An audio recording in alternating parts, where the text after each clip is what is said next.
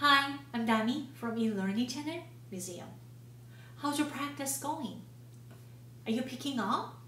Or do you need more time to practice?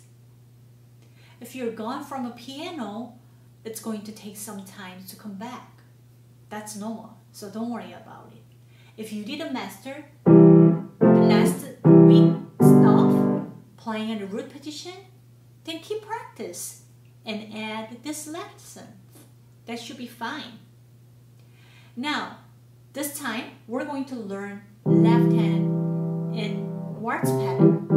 You know that what it is, right? And also we're gonna learn new chord, which is the seventh chord. That's gonna make a very nice sound. So let's start the lesson.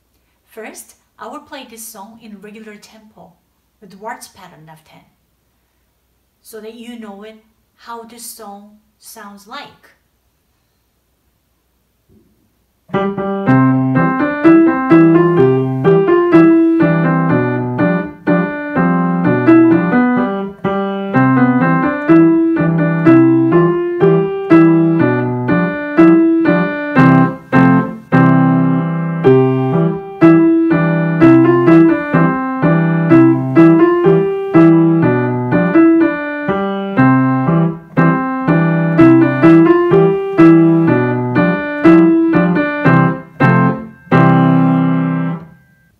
The simple gift playing in root position?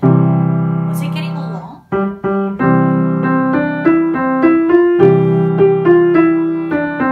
It's a little confusing, but it's still okay. This time, if you play it on the waltz pattern, which we have learned already, that's gonna make you really confusing. Also, before we start the waltz pattern, I'm gonna teach you a new one actually adding one more note on the chords that we have learned previous. G7th chord. Now, seventh means you add the seventh note from the chord. So if it's a G chord, definitely G, B, D. And seven means you add another chord. So basically, seventh note, when you count, one, two, three, keyboard is a seven apart. That's what we call seven. So if we find from C to seventh chord means you just go up, skip up. That's the seventh chord. Okay? And from F, the same way. Just another skip up. Of course, there is minor sevens and major seven. But don't think about it right now.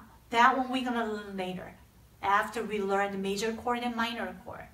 But for now, you only need to know if it's a seventh chord,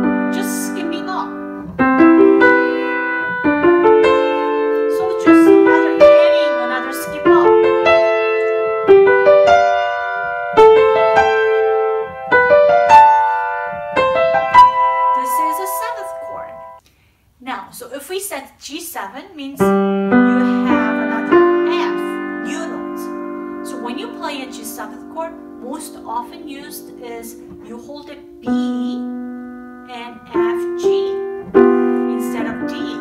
We're leaving one note out.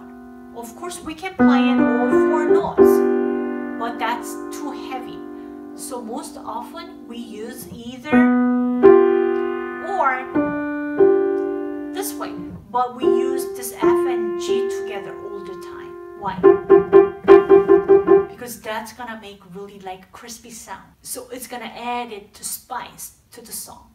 So we added these F and G all the time, and either you play with the D or you play with the B. But in this song, we're going to use B and F. Why? Because from the C, G goes G, B, D, right? But instead of D, we added F, G. So this will be your new chorus for today let's go back to song and play it the song in waltz pattern. You know what is the waltz pattern, right? Waltz pattern is definitely you just hold it the bottom and play it the right next two notes later. G7 chord will be like this, right? And C again. And C, F, C chord part will be the same as before. We can't do it, the waltz pattern. If we want to do waltz pattern, you have to have at least two beats, right? Because one, two count.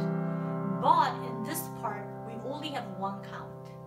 Then what we're gonna do, we just play a whole three notes at the same time instead of breaking up because we don't have enough beats to play it. Now let's start playing it. Find hand position, G on the left hand and right hand on C. One, two, three,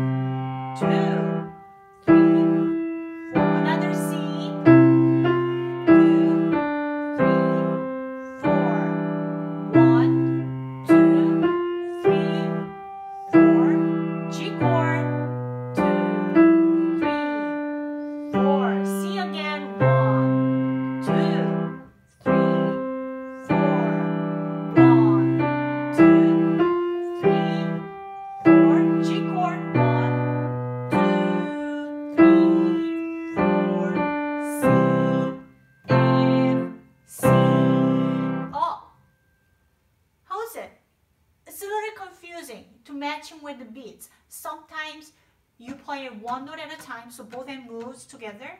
But when you have eighth note, your right hand plays two notes, while your left hand plays once. So one, one, one. You have more notes on the right hand.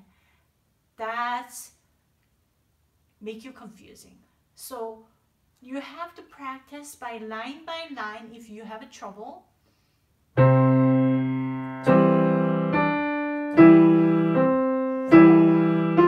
a on. Or if you cannot do it this one, then the best way is just everything, play it everything at a time first. And then, of course, you can add another left hand as an eighth note. So just play it everything together. And when you can play it well, then try to play as it is. Another practice way. For two weeks, we have learned left hand patterns, playing a root position and waltz pattern, and even any seventh chord. So whenever you see it in a music, the seventh, that means you add seventh note.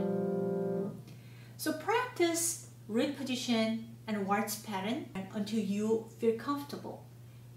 And then we're gonna learn more patterns on the left hand. I hope you practice and stay cool and we'll see you next week. Thank you.